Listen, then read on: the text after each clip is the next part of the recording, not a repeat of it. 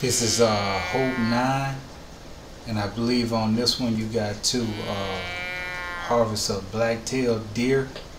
I think within 32 yards with a 44 mag.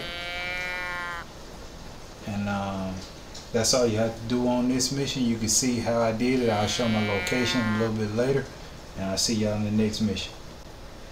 Oh yeah, and this mission also has to be done at night also.